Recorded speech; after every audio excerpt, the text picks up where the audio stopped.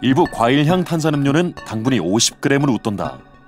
주목할 점은 탄산음료에 든 당이 대부분 과당과 포도당의 혼합물인 액상과당이라는 것.